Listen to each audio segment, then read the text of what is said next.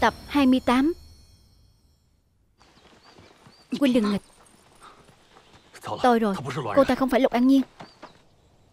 Giáng dân uyển.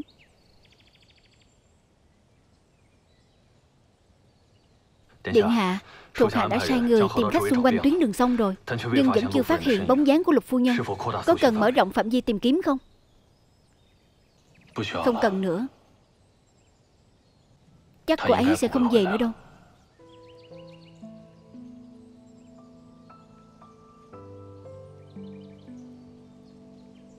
Điện hạ sao vậy?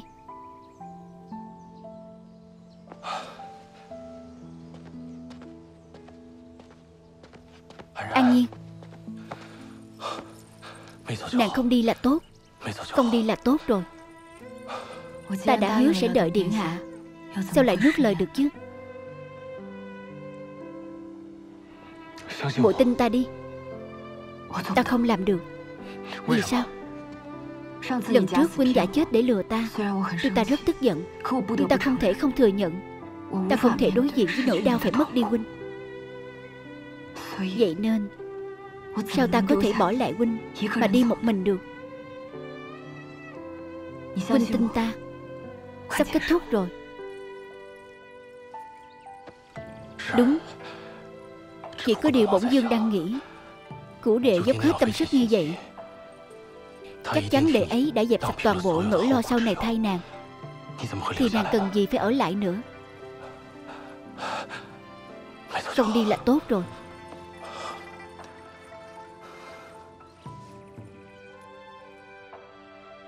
Dương Phi, Người phải phấn chấn lên.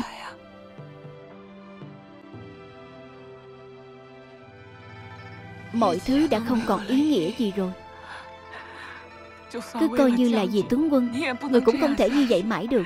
Nếu không Ai sẽ báo thù cho tướng quân?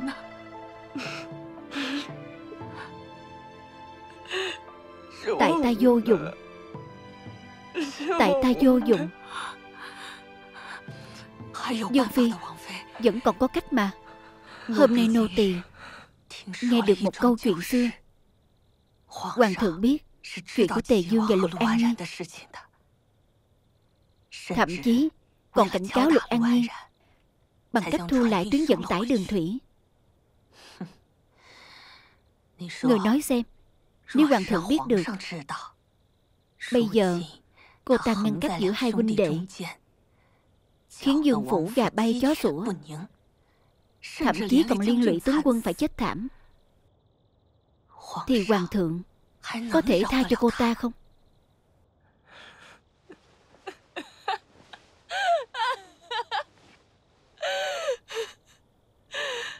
đúng. Lần này ta phải khiến chúng. Chôn cùng ca ca ta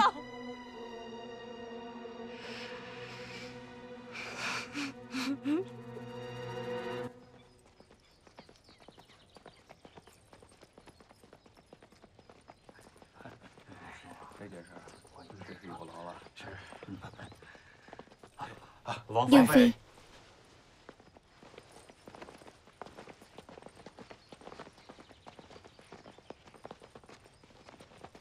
Giờ này Phải tan triều rồi mới phải. Các đại thần đi đâu thế? Chắc là hoàng thượng giữ họ lại ngự thư phòng để bàn chuyện.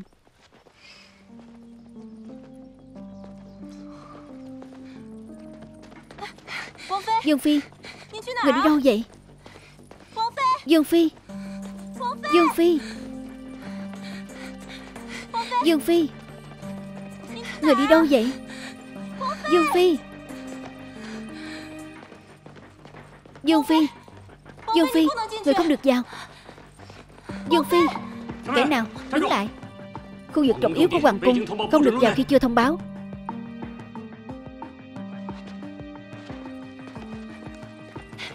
Đứng lại. Ta là Khánh Dương Phi. Ta là Khánh Dương Phi, Đứng lại. Hoàng thượng. Quay lại. Hoàng thượng, Quay lại. Hoàng thượng. Thần bị quan. Thần bị quan, Hoàng thượng. Ca ca thần bị hại chết. Hoàng thượng. Hoàng thượng.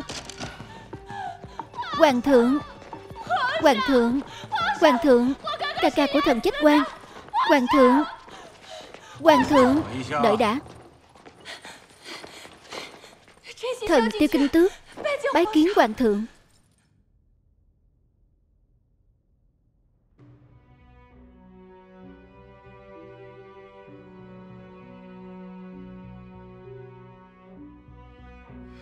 Phụ hoàng Sau khi Lục An Nhiên gả vào Khánh Dương Phủ Không những không cắt đứt tình xưa với Tỳ Dương Điện Hạ Cô ta còn ý vào việc được Điện Hạ cưng chiều.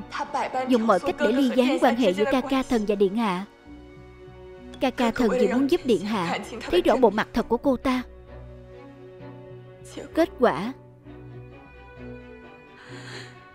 Kết quả bị độc phụ này tính kế hãm hại. Bị chính tay Điện hạ giết.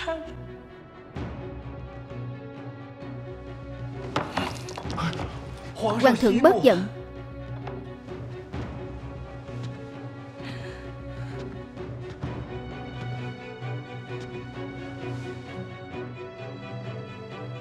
Hay cho Khánh Dương, Hay cho Lực An Nhiên. Các người khi quân giấu giếm, Hoàn toàn không coi trọng ra gì.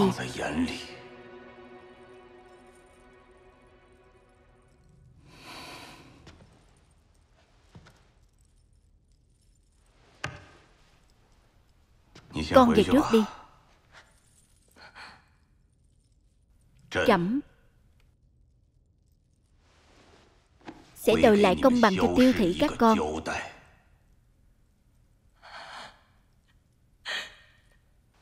Tạ ơn hoàng thượng.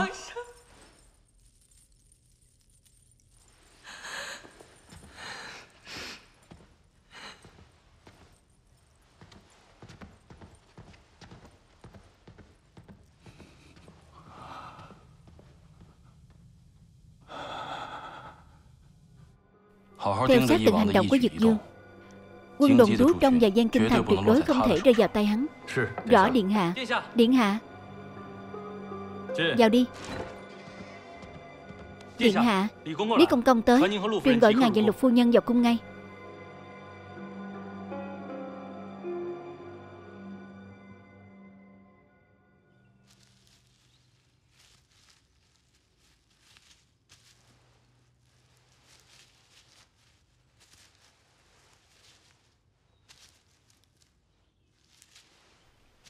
Điện hạ. Điện hạ có chuyện gì? Sao ngày nào ngươi cũng hốt quảng thế? Lại có chuyện gì à? Lý Công Công bên cạnh hoàng thượng cho người tới chuyển lời. Gọi người vào cung ngay lập tức. Lý Công Công. Lý Công Công gọi ta làm gì? Hôm nay hoàng thượng triệu kiến Khánh Dương Điện Hạ và Lục Phu Nhân. Nghe nói hôm nay tiêu kinh tước cố xong vào ngự thư phòng. Lật tẩy chuyện của tiêu ánh. Phụ hoàng biết cái chết của tiêu ánh Liên quan đến Lục An Nhiên. Chắc chắn sẽ không tha cho cô ấy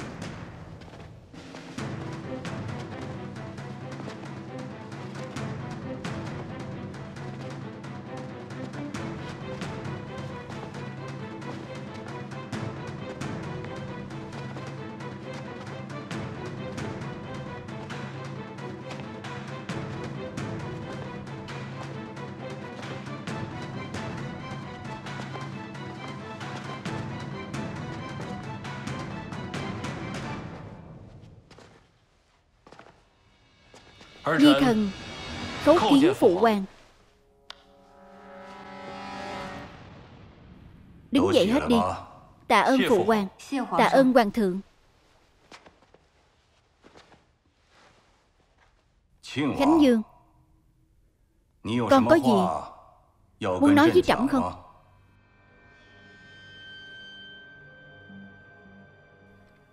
Nhi thần không hiểu. Người đang nói chuyện gì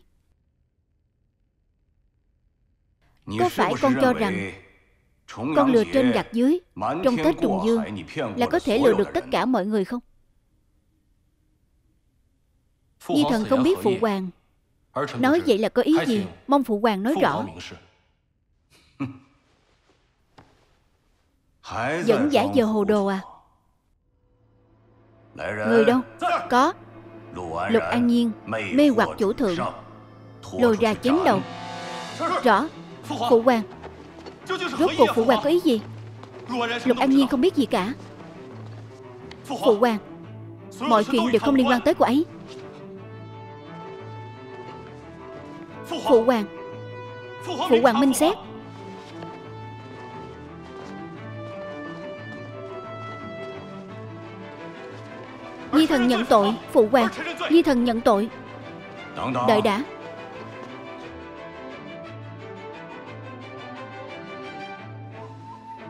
Tiêu Ánh. Là do con giết. Lục An Nhiên.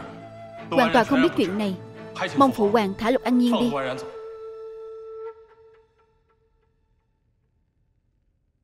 Đưa cô ta về đây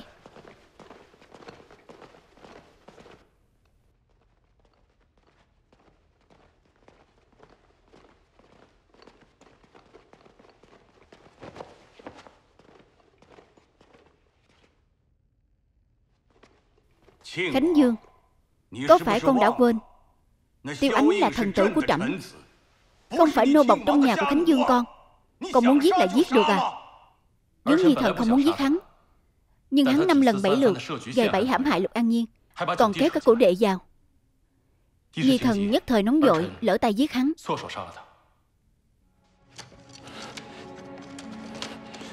Điện hạ, Rốt cuộc người đang làm gì?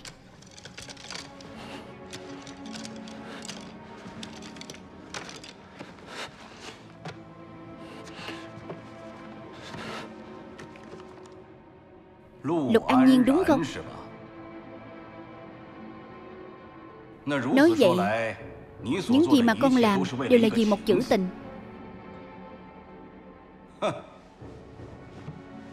Vậy xem ra trước kia, Trẫm đã nhìn nhầm con rồi. Con dễ dàng giết chết tiêu ánh như vậy. Chứng tỏ, Con không kết thân với hắn vì vị trí Thống soái quân đồng trú của hắn.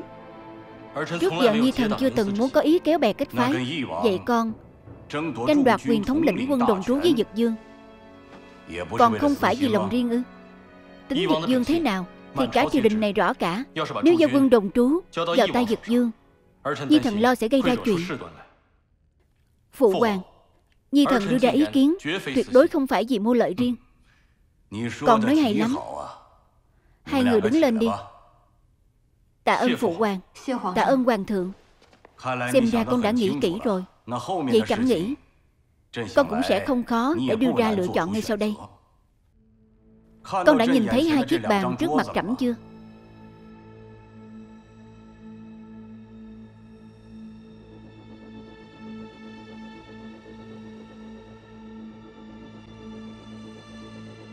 Nhi thần nhìn thấy Nếu sau này con chỉ ngoan ngoãn làm Khánh Dương Thì ngồi bên đó. Con cứ thoải mái hưởng thụ tất cả sơn hào hải vị trên bàn Chậm đảm bảo con được vinh hoa phú quý cả đời. Nhưng nếu con không an phận làm Khánh Dương Con muốn lấy được vị trí thái tử bên cạnh trẫm Thì con lên đây Uống hết chén rượu Ở trên bàn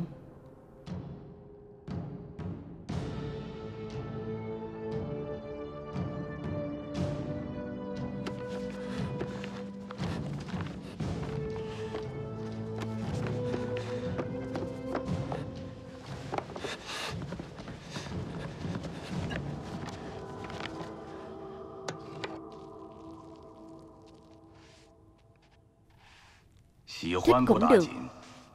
Chuyện yêu đương này. Trẫm cũng từng trải qua rồi. Nó giống như Quạt ngang ngày hè. Than nóng mùa đông. Thấm vào tim gan. Không dứt ra được. Một khắc cũng không thể rời xa. Nhưng mà Xuân đi thu đến Là không còn tác dụng gì nữa. Con phải nghĩ cho kỹ một xuyên lĩnh chỉ.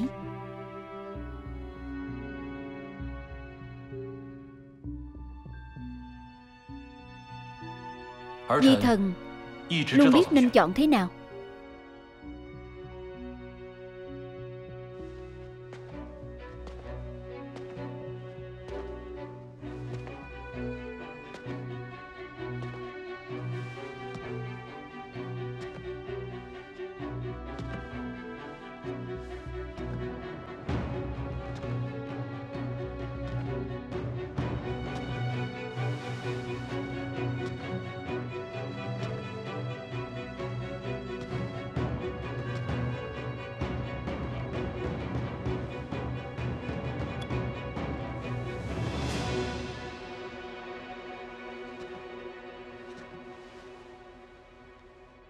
Đợi đã.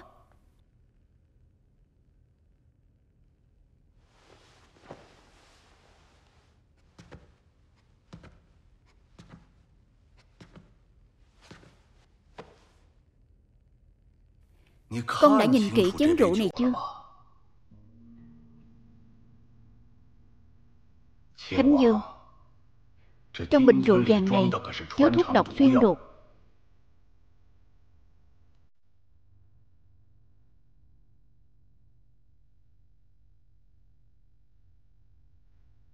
Biết vậy mà con vẫn chọn uống ư Không phải ai cũng có thể mơ tưởng đến vị trí này. Con thực sự biết nên chọn thế nào sao?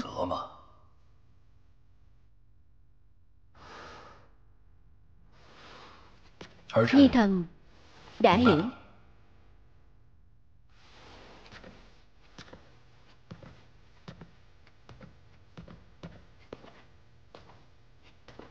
Nếu con vẫn chọn làm Khánh Dương Rượu đã nhấc lên Cũng không thể dễ dàng đặt xuống. Đưa rượu trong tay con. Cho Lục An Nhi uống.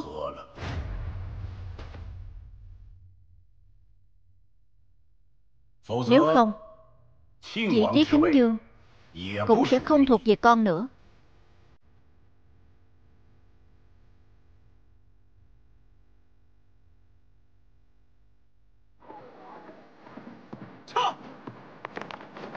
Tránh ra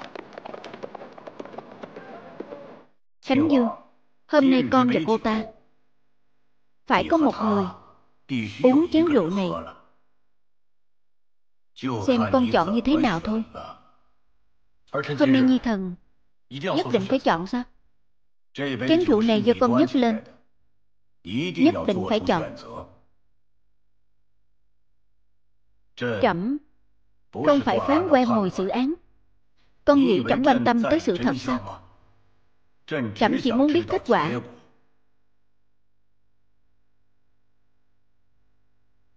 Lục An Nhiên Ngươi cảm thấy nó sẽ chọn thế nào? Điện hạ chọn thế nào? Thần cũng sẽ chấp nhận. Dù kết quả ra sao? Thần cũng sẽ không tiếc nuối Dù Mục Trạch có chọn thế nào Hắn cũng không có duyên với hoàng dị nữa rồi. Có lẽ Đây đã là kết cục tốt nhất rồi nhỉ? Khánh Dương Mau chọn đi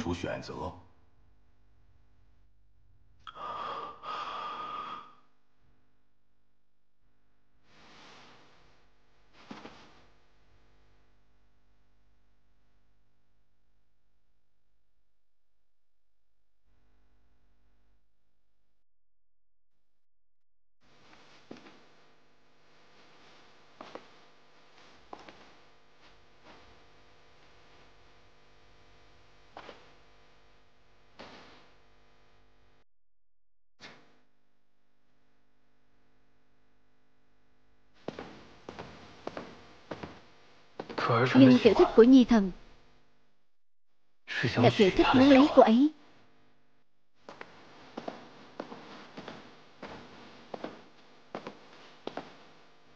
Mục Xuyên Xin lỗi. Ta lại nuốt lời rồi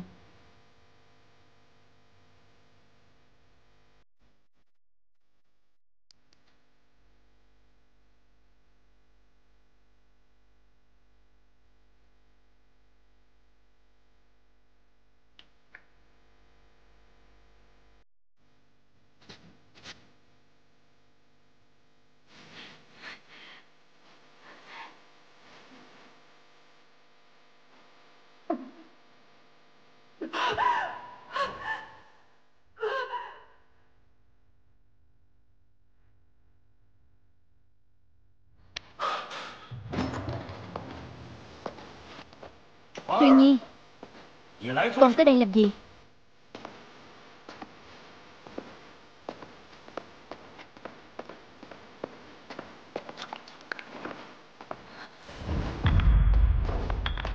Xuyên Nhi, Con không được làm loạn. Nhi thần không làm loạn. Hôm nay Nhi thần tới Là để trình một thứ lên phụ hoàng. Thứ gì?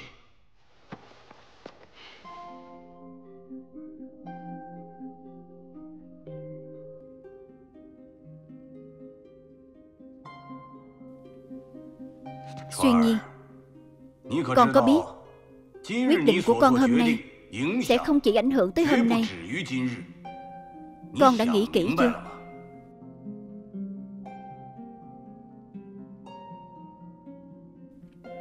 Nhi thần chưa nghĩ kỹ. Nhi thần chưa từng nghĩ rõ ràng. Rốt cuộc mình nên trốn tránh hiện thực Là một kẻ yếu đuối vô dụng, Hay là nên nắm giữ quyền lực? Trở thành người mình không muốn trở thành nhất.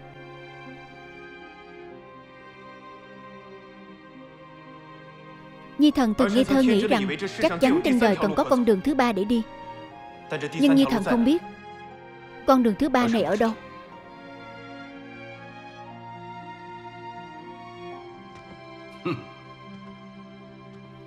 Xuyên Nhi Con chưa nghĩ rõ ràng gì cả Mà đã xông vào đại điện。Xem ra Con cũng tới đây vì nữ nhân này。Phụ hoàng đã từng có người mình muốn bảo vệ chứ? Nhi thần có. Nhi thần có người mà mình muốn bảo vệ。Dù phải dốc hết sức mình Mặc kệ tất cả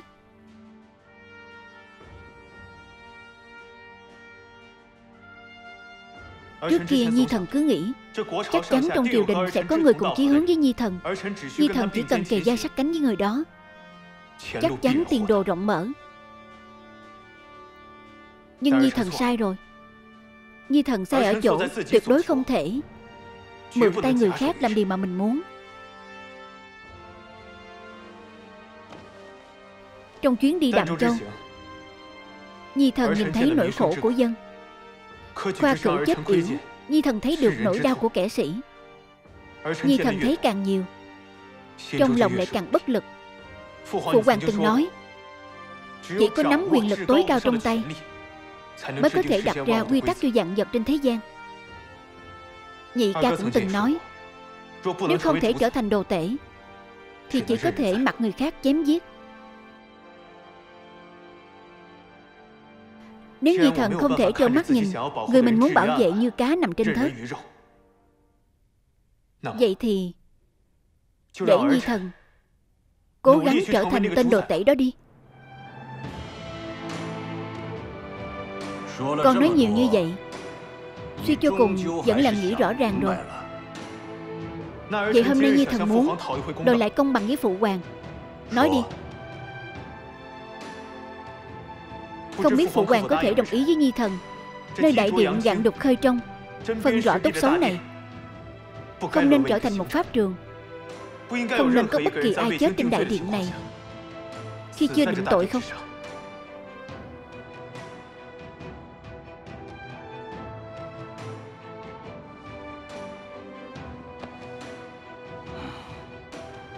Được. Trẫm Hứa với con Trình lên đi.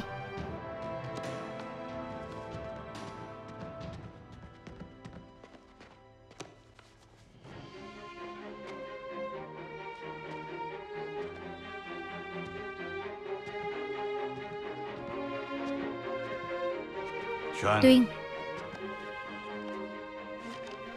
Cửu hoàng tử Mục Xuyên Phẩm hạnh đoan chính Dung mạo đức độ Công đức cao thượng Trẫm rất hài lòng. Ban cho chức, Hoài quá tướng quân, Thống lĩnh ba vạn quân đồn trú Trong và gian kinh thành. Khâm thử.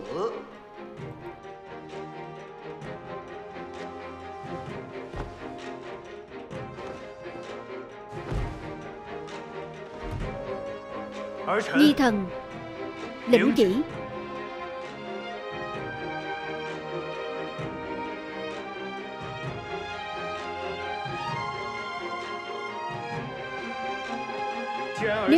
Không thể cho mắt nhìn Người mình muốn bảo vệ như cá nằm trên thớt. Vậy thì để Nhi thần Cố gắng trở thành tên đồ tể đó đi.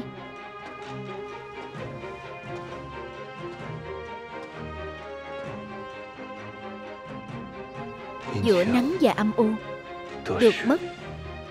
Thay đổi nhanh chóng. E là sau này ta chỉ có thể sống trong vùng trời nhỏ bé mà thôi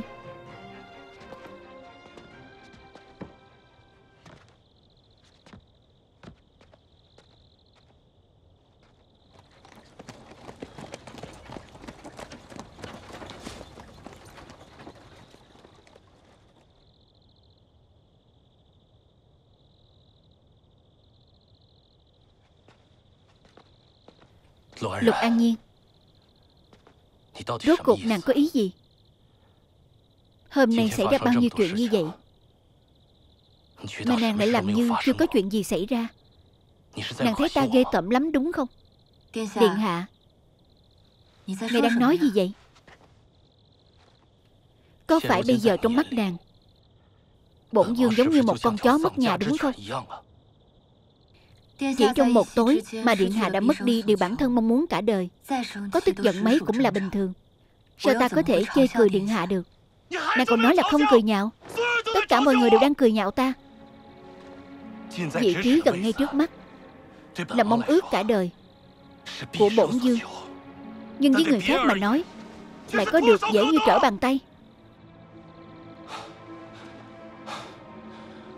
Lục An Nhiên Có phải nàng hối hận Vì đã đi theo bổn dương không? Ta chỉ mong nhà họ Lục được bình an Chưa từng tham vọng gì khác. Nếu hoàng thượng đã hứa cho điện hạ vinh hoa cả đời Vậy ta cũng được như mong ước rồi. Được như mong ước. Bỗng dương thà rằng Không thèm của bố thí này. Lục An Nhiên có phải nàng cảm thấy Bổn dương bằng lòng hy sinh nàng. Là để sống thôi thớp cả đời không? Bổn dương nói cho nàng biết. Nàng đừng hạ thấp vị trí của nàng trong lòng bổn dương Bổn dương còn có thể nói với nàng. Bổn dương sẽ nhớ kỹ Nỗi nhục ngày hôm nay. Ta sẽ khiến tất cả những người từng sỉ nhục ta Phải đền lại bằng máu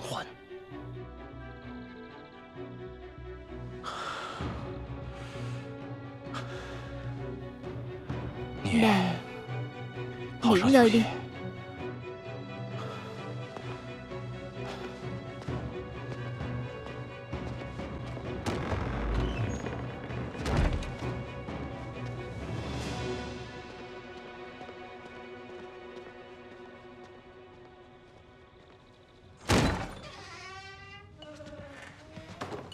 Điện hạ Người làm gì vậy Điện hạ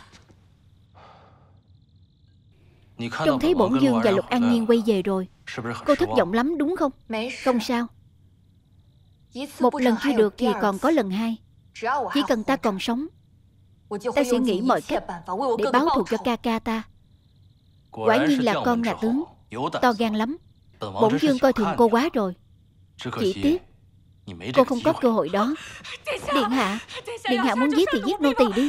Là nô tỳ xúi dục Dương Phi đi tố cáo Mọi chuyện Đều là lỗi của nô tỳ Dương Phi vẫn chỉ là một đứa trẻ Dương Phi không hiểu gì hết Điện hạ Điện hạ Mama Không cần cầu xin hắn Tiêu thị không có người sợ chết Tiêu thị không có người sợ chết Nói hay thật Bổn dương không tin Người tiêu thị lại có trái tim sắt đá đến vậy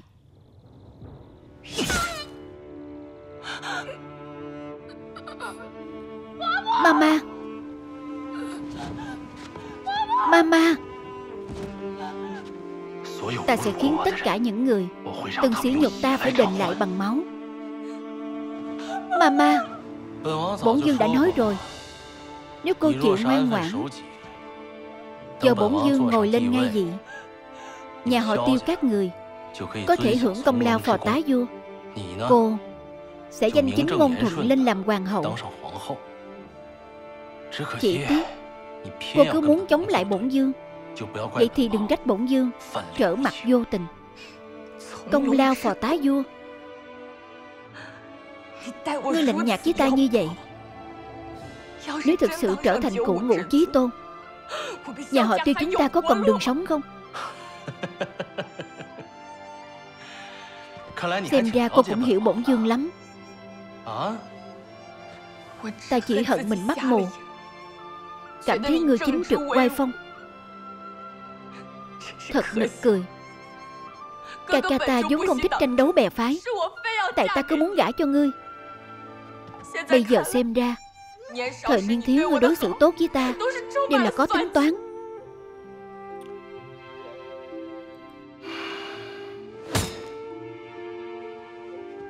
Nào Cô còn muốn nói gì nữa? Nói hết những lời trong lòng cô ra Coi như là ân huệ cuối cùng bổn dương ban cho cô. Một trạch. Người có tin. Trong phủ này Chỉ có ta từng thật lòng yêu ngươi. Chỉ tiếc là ngươi không xứng đáng. Kiếp này sẽ không có yêu ngươi nữa đâu. Đây là hình phạt ông trời dành cho ngươi. Điện hạ dừng tay. Dương Phi đã có thai Mong Điện hạ nghĩ kỹ lại.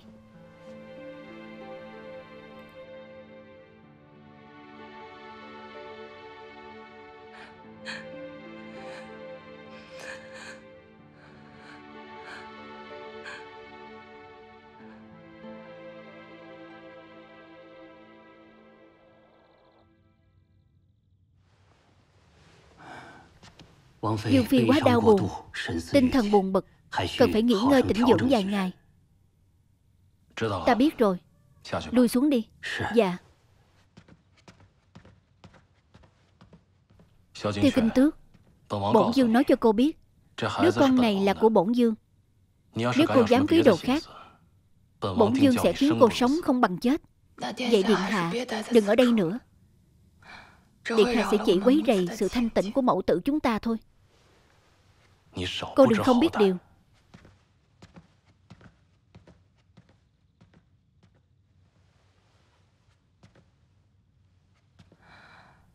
Vì sao cô lại cứu ta?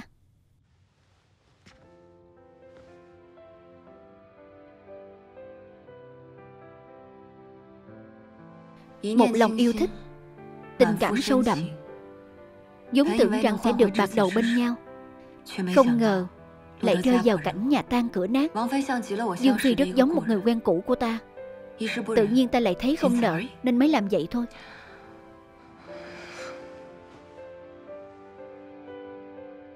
Lục An Nhiên. Cô ở lại bên cạnh một trạch. Thật ra Là để đối phó hắn.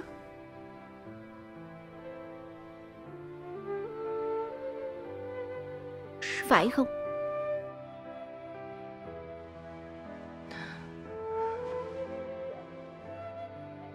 Vậy cô phải cố gắng hơn. Đừng khiến ta thất vọng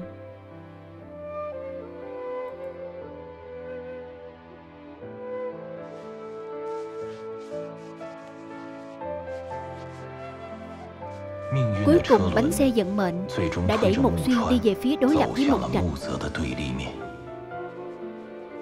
Hướng gió trong cung điện của thành hãn kinh Đã đột ngột đổi chiều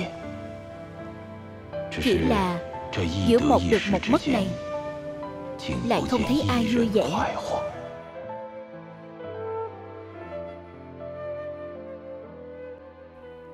Tiểu thư Tề Dương Điện Hạ gửi thư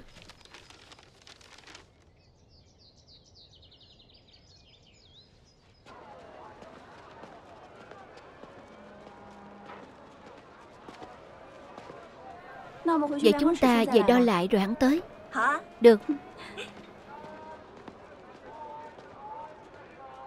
Điệp giận lăng.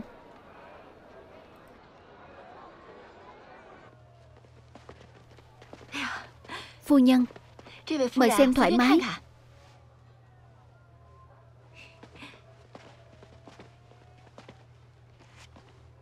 Nếu cô thích mẫu nào Ta lấy xuống cho cô xem đây, để ta. Phu nhân, chúng ta vào trong đo kích thước đi.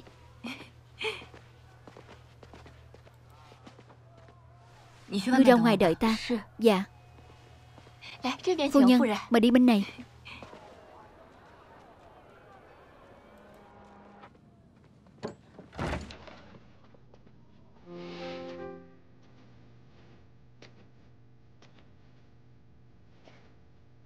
Điện hạ Ta lui xuống trước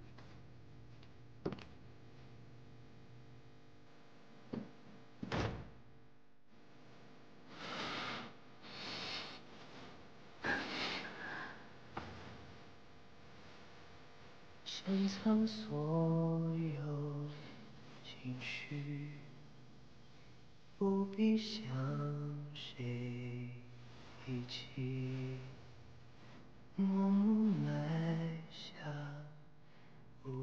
Gần đây mụ có khỏe không? Với hoàn cảnh hiện giờ của chúng ta vốn không nên gặp mặt. Huynh làm vậy là quá mạo hiểm. Ta biết. Bộ sợ ta lại chết lần nữa.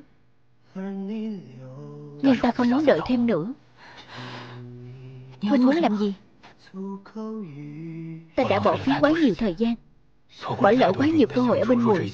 Nếu những chuyện này đã được định sẵn là sẽ xảy ra, Thân là nam nhân, Ta không có lý do để trốn tránh thêm nữa. Vậy nên từ giờ ta cũng không định nhún nhường tinh triều thêm nữa. Ta sẽ chủ động Thúc đẩy mọi việc mau chóng diễn ra. Nhưng huynh làm vậy là quá mạo hiểm. Trước khi có chuyện nào muội làm là không mạo hiểm. Bây giờ ta chỉ muốn chuyện này mau chóng kết thúc.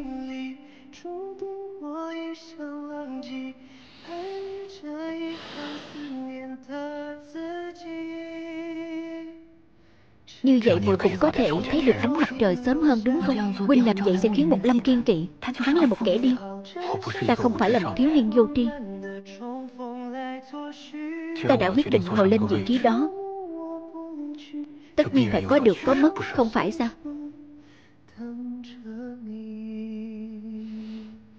thật sự chưa từng thấy Huynh sát phạt quyết đoán như bây giờ. Sớm muộn gì cũng phải đối mặt.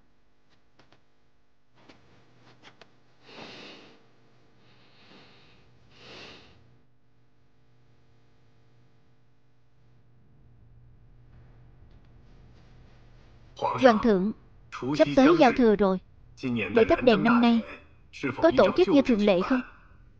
Xin Hoàng thượng hạ lệnh Cứ làm theo quy củ như mọi năm. Rõ Hoàng thượng. Vậy không biết Hoàng thượng đã quyết định Người thắp mắt đèn năm nay chưa?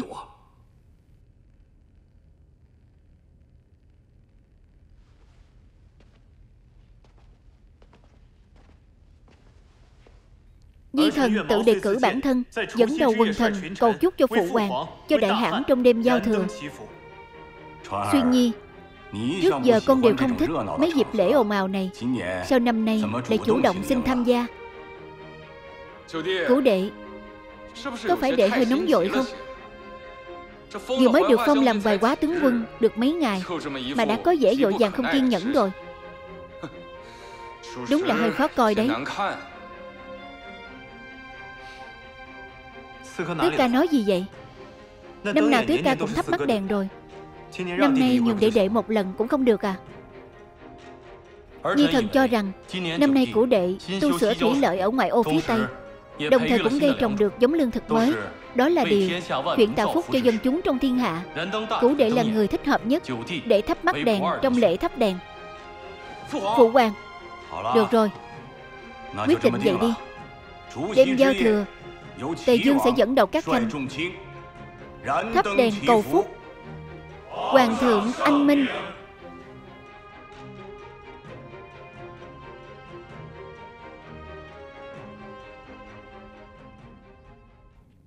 Sao lại thế được? Đã không cho bổn dương thắp bắt đèn thì chớ. Lại còn bắt bổn dương đi tổ chức lễ thắp đèn Điện hạ, xui xẻo. Biết vậy, trước kia ta đã không ôm đờm việc này. Ngươi đi tìm phụ hoàng Từ chối việc này cho ta. Ai muốn làm thì làm. Điện hạ Chúng ta không những phải làm Mà còn phải làm cho tốt. Ngươi đùa đấy à? Điện hạ Chẳng lẽ ngài vẫn chưa nhìn ra sao? Rốt cuộc đối thủ thực sự của ngài là ai?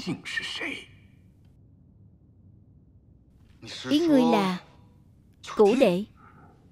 Trước kia ngài và Khánh Dương tranh đấu. Cùng lắm thì hoàng thượng cũng chỉ ngồi xem. Giữ thế cân bằng. Bây giờ ý đồ của hoàng thượng đã rất rõ ràng rồi. Người mà hoàng thượng coi trọng nhất là Tề Dương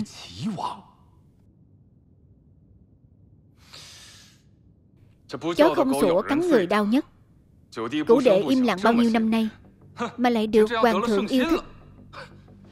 Vậy mới nói chúng ta phải Tổ chức Lễ thắp đèn này thật tốt. Làm thế nào? Làm thế đi